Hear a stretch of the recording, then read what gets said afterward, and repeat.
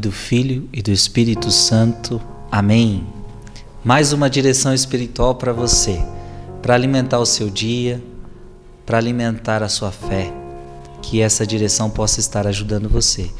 Meu querido, se tem te ajudado, partilhe com outras pessoas. Diga, olha, você já conhece esse canal? Você já conhece essas direções? É tão importante a gente também ajudar o próximo nesse caminho. Se está sendo bom para você, com certeza será bom para outras pessoas também. Vamos continuar. Na Escola da Perfeição Cristã, estamos ainda meditando sobre a vontade de Deus. Só poucos cristãos compreendem o que seja a verdadeira piedade. A maior parte segue suas inclinações. Quando melancólicos, procuram a solidão. Quando se sentem atraídos por uma vida ativa, se dedicam só às obras da salvação das almas. Quando inclinados a uma vida austera, dão-se a penitência e a mortificação.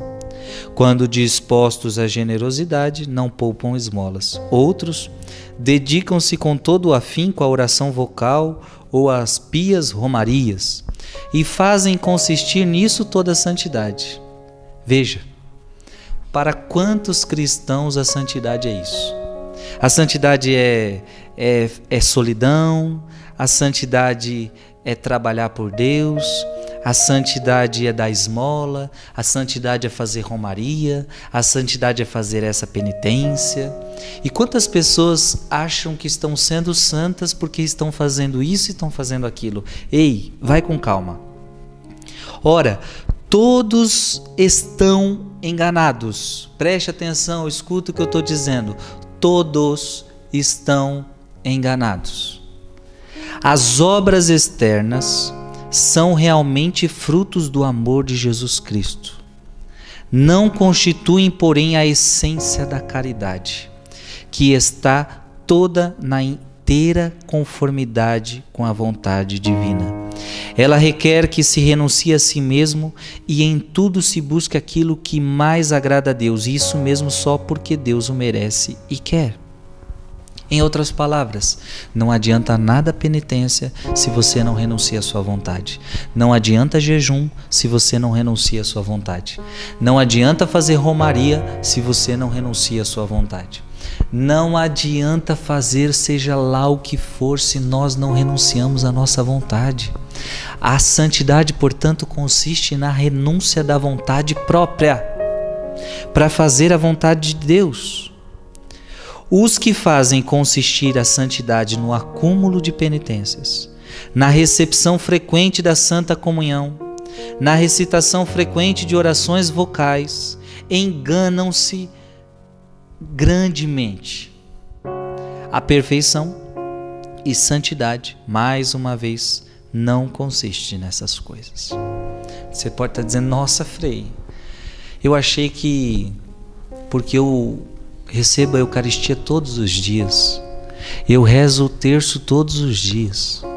Eu faço jejum toda semana. Eu ajudo os pobres. Ei, tudo isto é bom. Continue. Mas isto ainda não é santidade. Você entende que tudo isto é externo? São obras externas que te ajudam, mas não é a santidade. A santidade é fazer a vontade de Deus. A perfeição e santidade, mais uma vez, não consiste nessas coisas. Segundo Santo Tomás, grande santo da igreja, ela está toda na sujeição à vontade de Deus, submetendo-lhe o nosso espírito honramo-lo sumamente, nisso consiste a nossa perfeição, em sujeitar a Deus o nosso espírito, em sujeitar a Deus nossa vontade. Ei, meu irmão, filho e filha, ficou claro? Você quer ser santo? Faça a vontade de Deus. É como aquele jovem rico, ele não quis ser santo, porque Deus tinha dito para ele: vai, vende tudo que você tem, dá para os pobres e vem me seguir. Mas a vontade do rico era continuar com as suas riquezas. Ele tinha a sua vontade própria, era difícil renunciar à sua vontade própria. É difícil a gente renunciar à nossa vontade própria. Penitências, orações, comunhões, comunhões são coisas boas só porque Deus as quer, não sendo conforme a sua santa vontade, longe de lhe serem agradáveis, detesta-as e pune-as. Veja, até coisas boas, se não for da vontade de Deus, Deus não vai ficar feliz. Por exemplo, vou fazer uma romaria. Às vezes não é da vontade de Deus que você faça essa romaria. É que em vez da romaria você faça outra coisa. Mas se você teimar em fazer a romaria, você não estará agradando a Deus. Por mais que a romaria seja algo bom. Não sei se você me entende.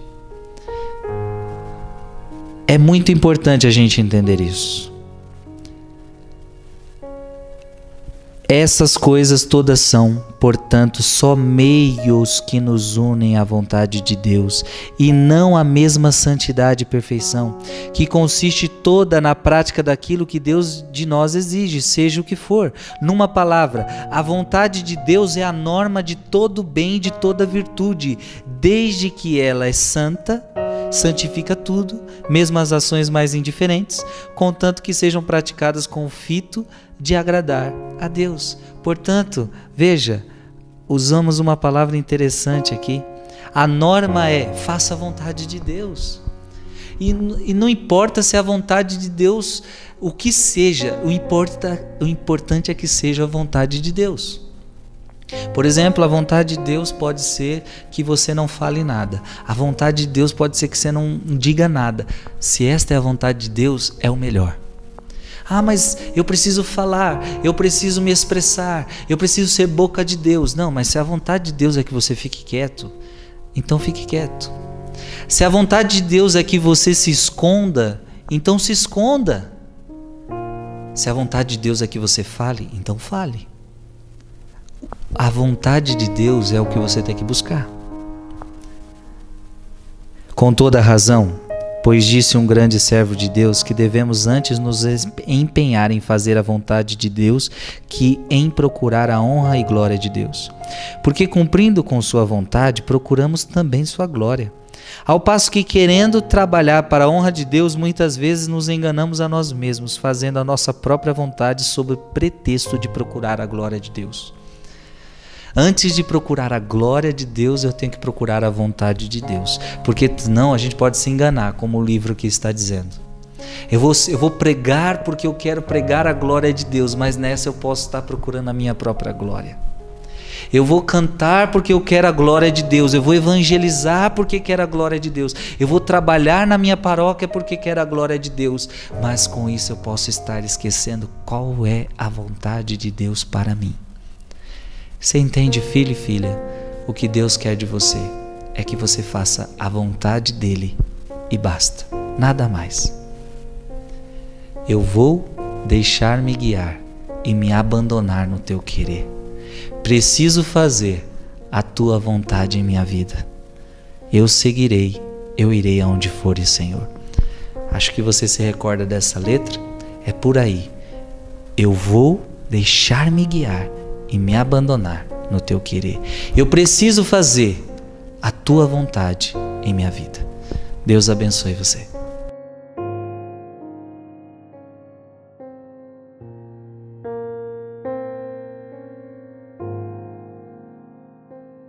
Você gostou desse vídeo?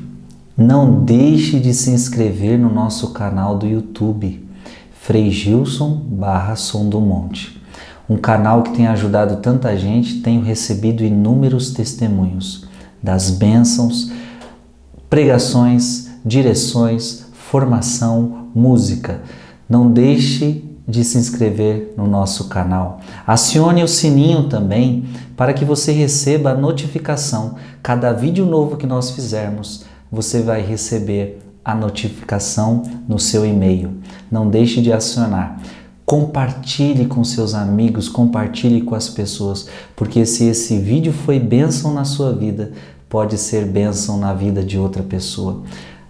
Comente lá nos comentários o que, que você achou, o que tocou em seu coração. Deus abençoe você, reze por nós para que a gente não pare de evangelizar, porque muitas pessoas ainda precisam ser salvas. Deus abençoe você.